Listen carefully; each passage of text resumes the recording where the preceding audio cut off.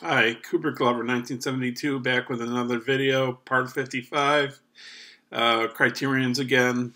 Criterions uh, number four. The criterions that uh, I did all the criterions in the bookcase, so now we're on the criterions from the towers.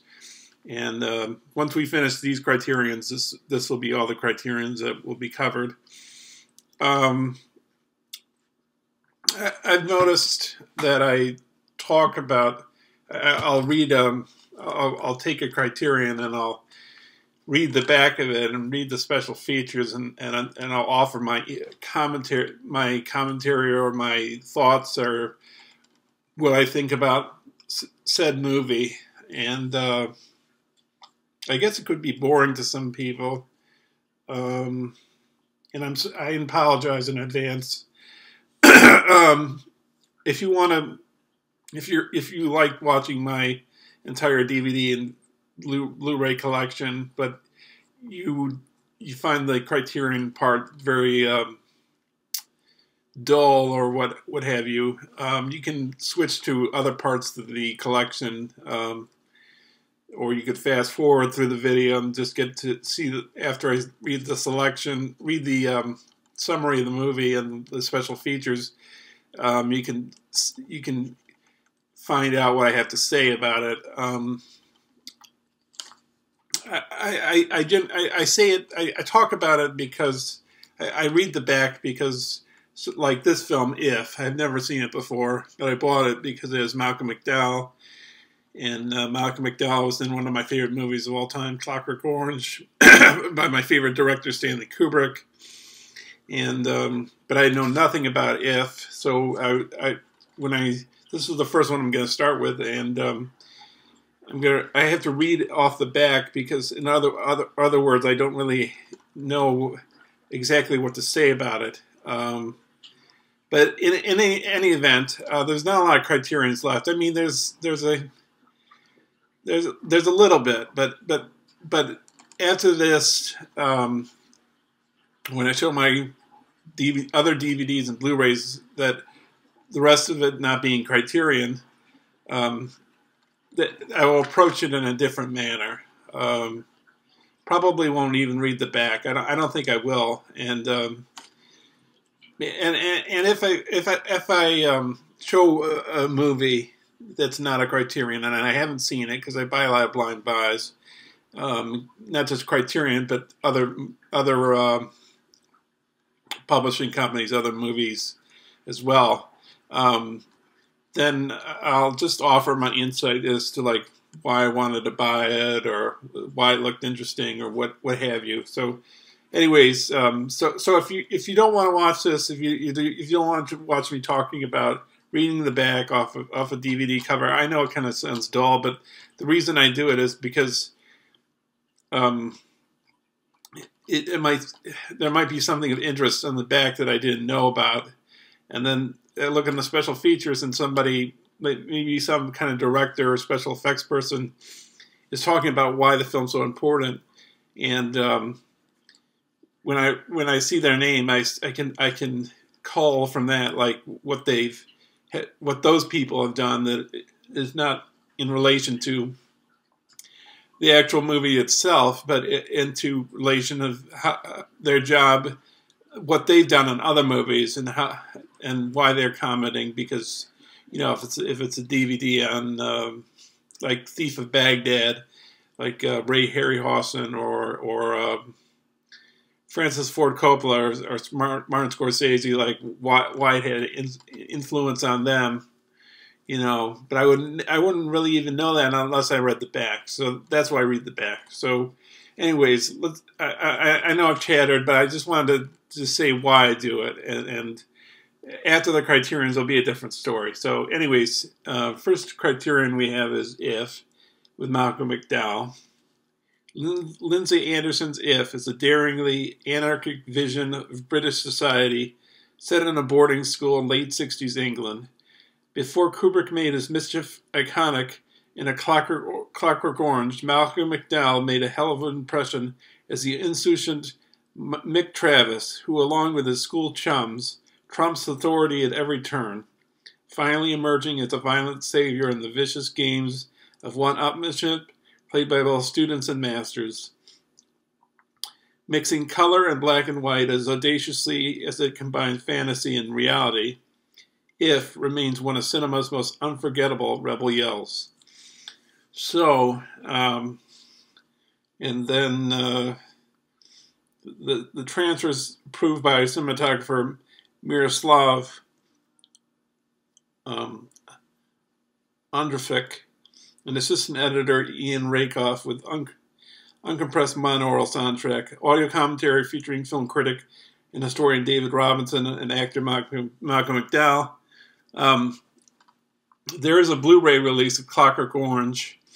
It's not part of the Kubrick collection. Well, I don't know. Maybe in future Kubrick box sets they've had they've had Malcolm McDowell do the commentary. I think they have maybe maybe, maybe a newer box set of Kubrick of uh, Kubrick films has has uh, um, Malcolm McDowell in the commentary because I I have the Kubrick box set, but it's a very it's a it's the maybe it's the first ever DVD box set of it. It had no commentaries on it, and then um, I bought. Uh, since that time, I bought four, Kubrick. Uh, D, uh, well, actually, well, two of them are DVDs and two of them are Blu-rays, and um, um, one of them features a commentary, which is Clockwork Orange. The other Blu-ray is, and that's a Blu-ray, the Clockwork Orange, and, and the other Blu-ray is a Criterion, uh, Doctor Strangelove. It doesn't have a commentary, but and the other two are, are Criterion's, um, but they're DVDs, and Clockwork Orange, that version that I have that's not in the box set, that's not a Criterion. Uh, they, uh, maybe at some point double uh, Clockwork Orange on Criterion.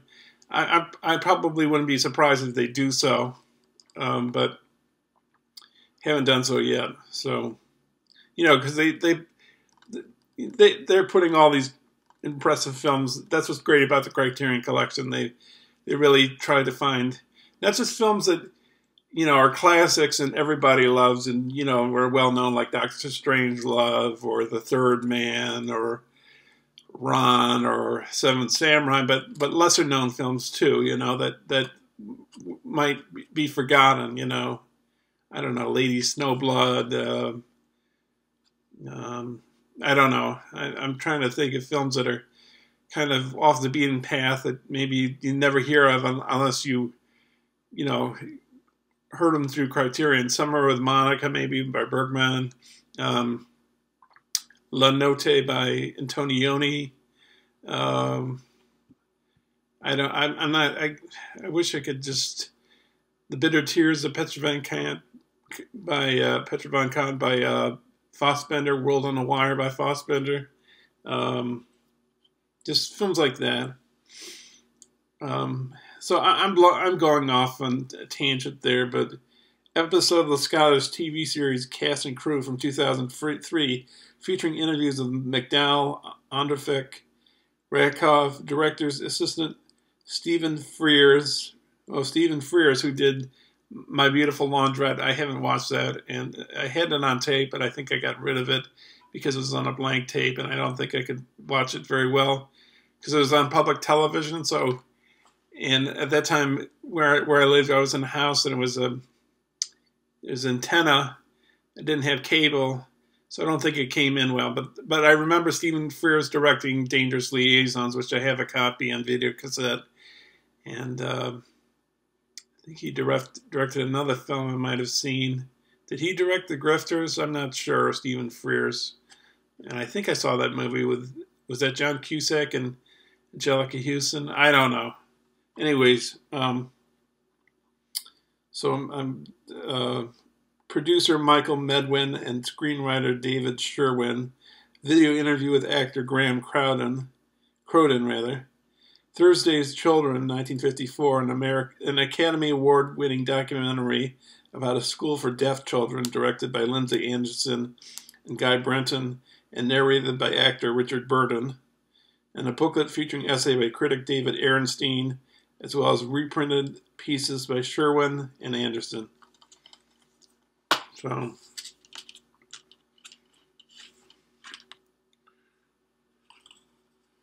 Anyways, uh, show you the inside of this. This looks pretty pretty cool.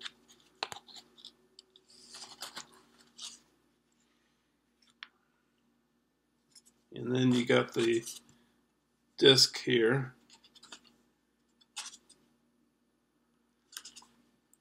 And this I haven't seen, um, but I'm looking forward to seeing it. Should be another great Malcolm McDowell performance, you know, because he's a really good actor.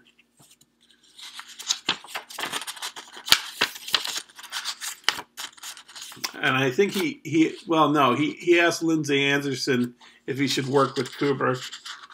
And uh, Lindsay Anderson told him to go for it. Um,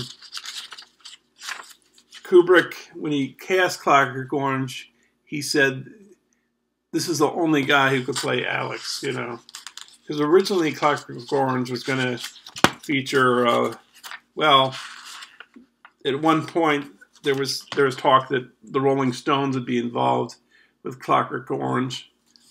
I guess Mick Jagger would play Alex, but um, maybe that, that could be interesting, but really not as interesting and not as well done as it, if it, um, as it turned out with Kubrick. You know, I, I think it just perfectly matched up. You know, um, with Kubrick. But of course, he's he's regarded he's my favorite director, and it's um, and this has it says in the back one man can change the world with a bullet in the right place. So, anyways, that's if. This next one I bought, I don't know, it just seemed kind of interesting. It an interesting cover, so that's why I bought it, I guess. Fantastic Planet, French movie, I believe. Uh, yes, French. Nothing else has ever looked or felt like director Rene Laloux's animated Marvel Fantastic Planet, a politically minded and visually inventive work of science fiction. The film is set on a distant planet called Yugam, where enslaved humans, Oms, are the playthings of giant blue native inhabitants, Draags. After Terr, kept as a pet uh, since infancy, escapes from his gigantic child captor. He is swept up by a band of radical fellow, fellow Oms who are resisting the drag's oppression and violence with this eerie, cool, coolly surreal cutout animation by Roland Topor, brilliant psychedelic jazz score by Alain Goraguer, and wondrous creatures and landscapes. This Cannes award winning Cannes awarded 1973 counterculture classic is a perennial compelling statement against conformity and violence. Uh, alternate English language soundtrack uh, Lay Tempo Morta 1965 and Lay Escargolo 1966, two early short films by director Rene Laloux and illustrator Roland Topor. Laloux Sausage, a 2009 documentary, and Laloux episode of the French television program Italiques from 1974 about Topor's work, interview with Topor from 1973, trailer, and an essay by critic Michael Brooks. Just text on the back there. And uh, so let's see what the, cut, the inside has. I, I'm totally, I don't know anything about this movie, so um, we'll see at some point what it's like. But I guess it's like uh, that other animated piece I have of Criterion's Watership Down, you know, to, um, I don't know, maybe they're companion pieces, I'm not sure. But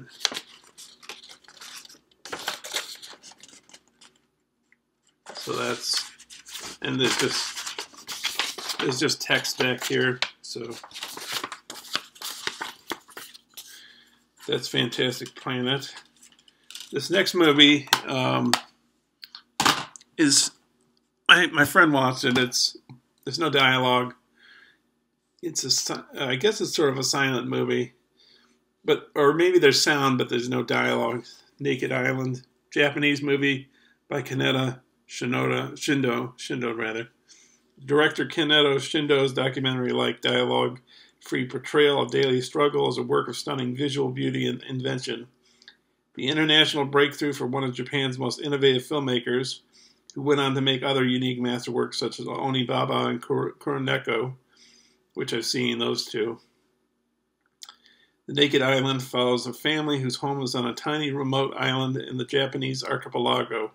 They must row a great distance to another shore, collect water from a well in buckets, and row back to their island, a nearly backbreaking task, essential for the survival of these people and their land. Featuring a phenomenal modernist score by Hikaru Hayashi. This is a truly hypnotic experience with a rhythm unlike that of any other film. It's got a video introduction by director Kaneto Shindo, directed, recorded for 2011 retrospective of his work, audio commentary, recorded in 2000 featuring Shindo and composer Hikaru Hayashi, and a new appreciation of the film by actor Benicio del Toro, new interview with film scholar Akira Mizuto, Mizuta Lippit, trailer, and an essay by film scholar Haden Guest. So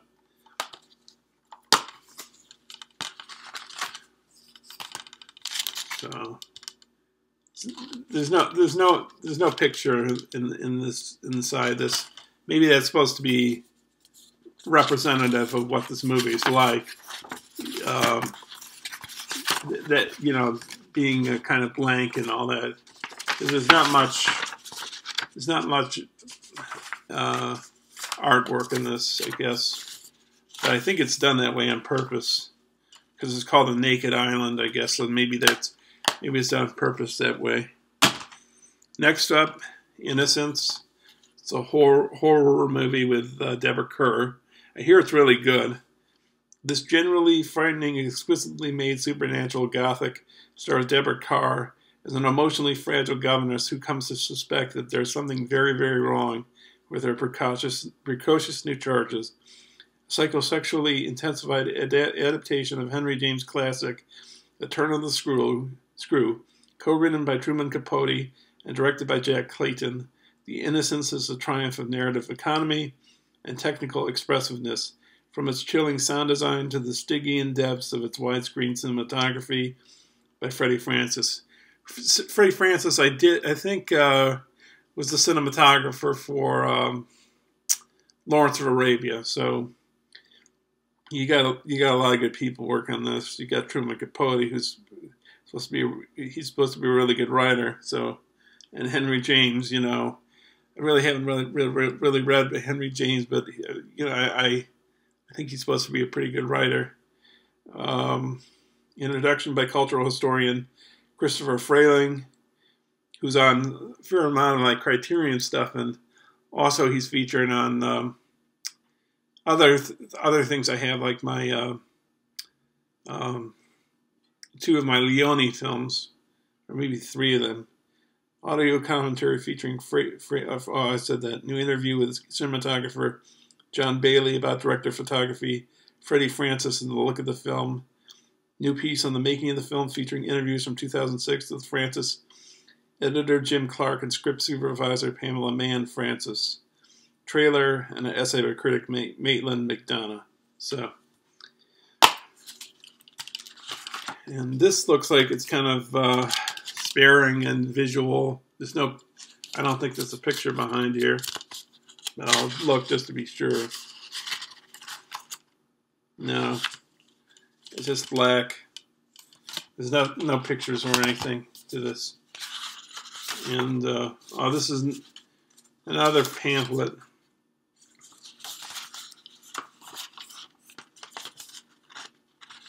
I do have another Deborah, Deborah Kerr movie, uh, um, King and I. I'll show that at a certain point. Uh, I, I, inherited that from my mother. Um,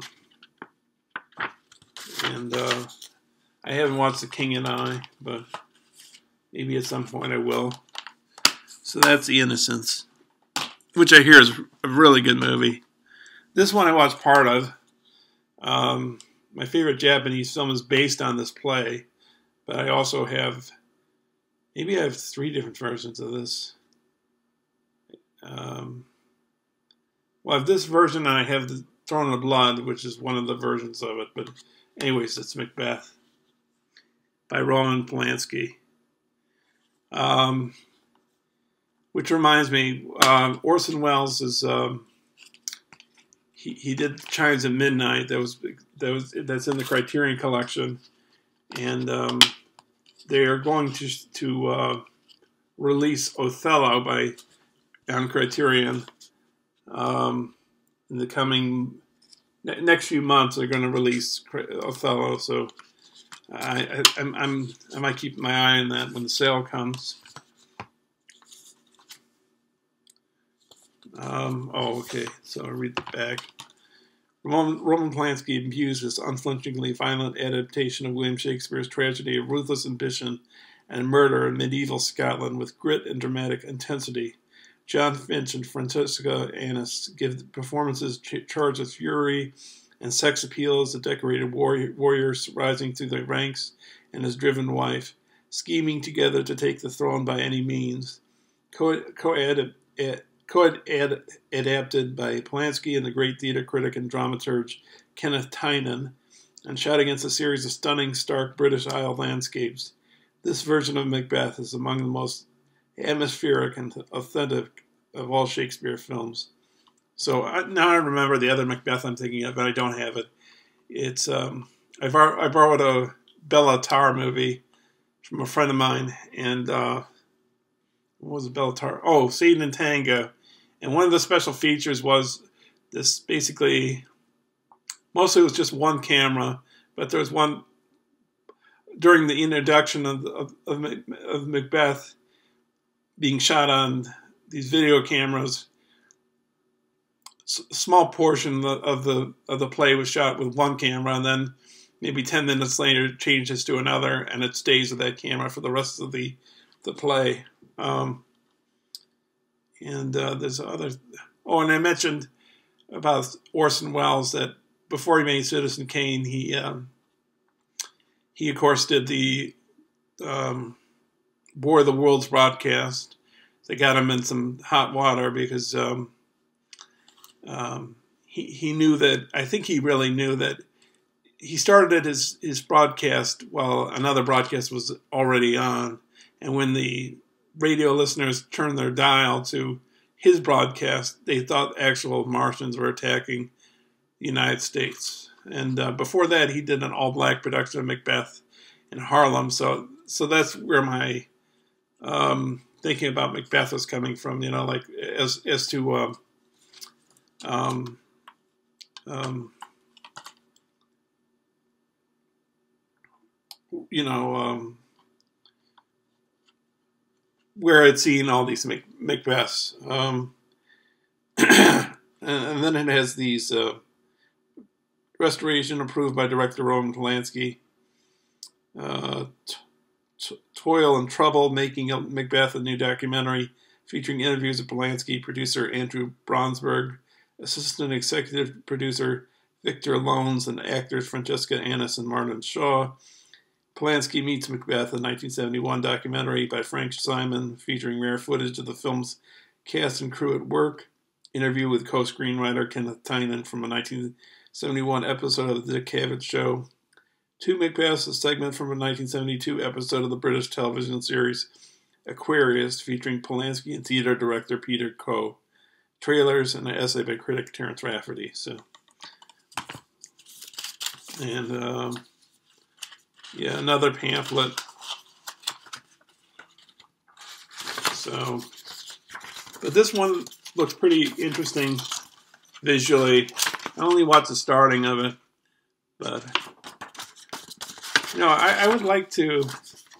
I, I, don't know where you find time to do every, all these things you want to do in your life, but I'd love to read all the plays of Shakespeare because he's supposed to be have great insight into the psychology of people. Um, but you know, there's other things you want to do too. There's like, uh, well, like I've read a lot of the novels of Dostoevsky. I've read Nietzsche. You know, I've, I've, I've read some things. I want to read Plato's Republic, but I, I have other things I want to do too. I want to watch all these movies I've never seen before. I mean, I've seen movie, some movies, but I haven't seen all all the movies I want to see. It's probably impossible to see every single movie you want to see in your life, or or see a bunch of a set a set number of movies during your life because it's just basically impossible to do that. Um, um, yeah. So, um, anyways, let me see. Uh, what am I gonna do here? Um, I've got five more criterions to show, and that'll be, that's the end of the criterions. But I'm trying. I'm deliberating whether or not I should do two videos, and um, I think that's what I'm going to do because because I can announce on the the second video that this will be the last video. So th not this video, but the next video of criterions. Not the last video of the collection, but a criterion. So, anyways, I'll finish it off this this video with uh, Silent Le Silence Le Silence de la Mer, The Silence of the Sea. I think. Uh, Mer, I think, is sea in, in French. It's by Jean-Pierre Melville. It's beginning film. Jean-Pierre Melville began his superb feature filmmaking career with this powerful adaptation of an influential underground novel written during the Nazi occupation of France. A cultured, naively idealistic, idealistic, idealistic German officer is billeted in the home of a middle-aged man and his grown niece. Their response to his presence, their only form of resistance, is complete silence. Constructed with elegant minimalism and shot by the legendary Henri Decaë, with hushed eloquence, Le Silence de la Mer points the view points away rather towards Melville's later films about resistance and the occupation. Leon Morin Priest, Army of Shadows, yet remains a singularly eerie masterwork in its own right. So it's got the short 24 Hours in the Life of a Clown, 1946, director Jean Pierre Melville's first film. New interview with film scholar Ginette Vin- Vincendeau, codenamed Melville, 2008, a 76 di- minute documentary on Melville's time in the French Resistance. In his films about it, Melville stepped out of the shadows, 2010, a 42 minute documentary about La Silence de la Mer.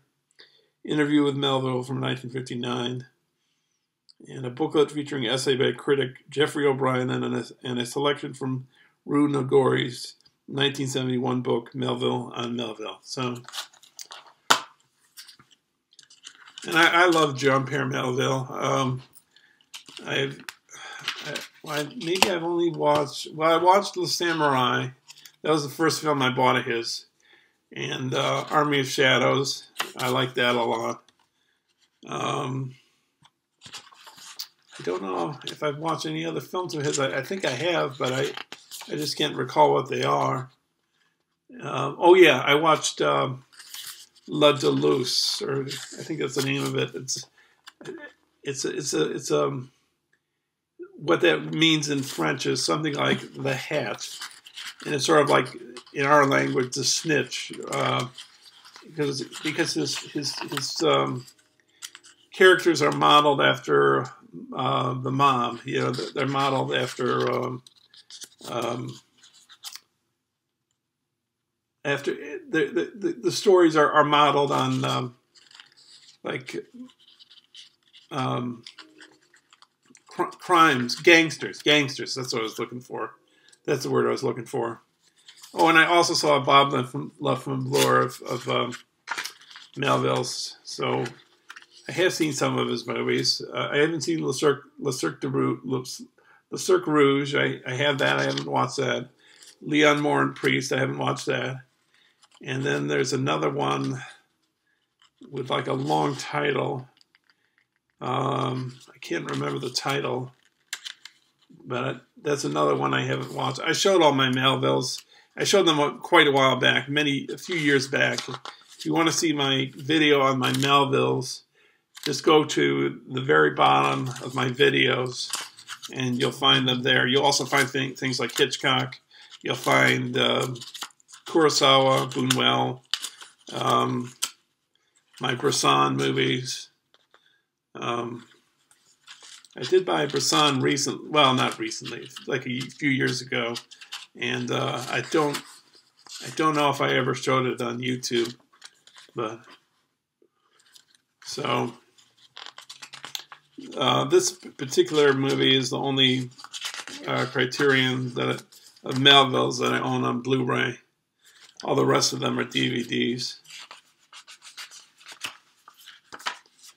So, you know, I could go on and make this video longer, but I think I'm going to shorten it because I, I wanted to. Um, I, I, just wanted to address. Um,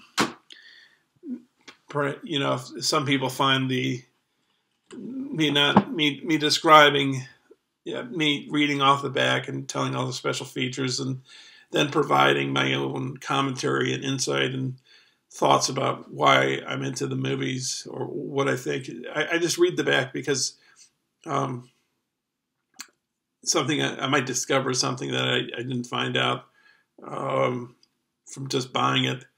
Because when I bought the, when I buy them like off of Barnes and Noble's website or you know from Amazon or Criterion's website or, or at a store, sometimes I don't really look at it and, and read all the information. I just buy it. So and sometimes I look at the back, I suppose, but maybe I just glance at the backs. But uh, most of the time, Criterion has pleased me with their selections.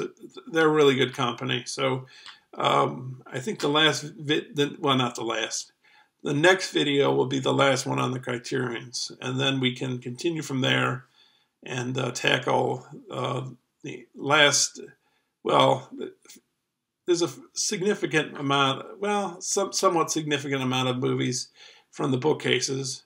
We got some movies from the towers. Um, I'm, I'm going to do a video solely dedicated to uh, Seinfeld because I have the box set, the complete series. And uh, I also forgot to say that I have uh, music, uh, basically their concerts. Um, and um, I'll, I'll, I'll show those in in a separate video. So those that the the, the video concerning uh, musicians and bands and concerts will be concentrated into one video. So, anyways, take out take a look for that, and uh, I'll see you soon. I'll be right back. Uh, I'll be um, back with another video um, featuring fi finishing off the criterions. Okay, thanks a lot for watching. Bye.